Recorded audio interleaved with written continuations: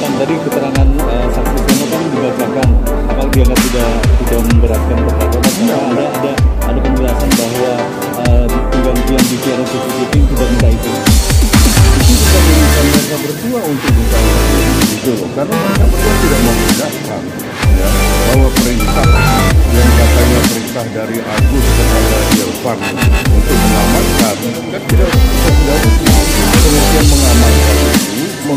lebih daripada TV. Jadi kita mengamankan itu dia berdiri mengamankan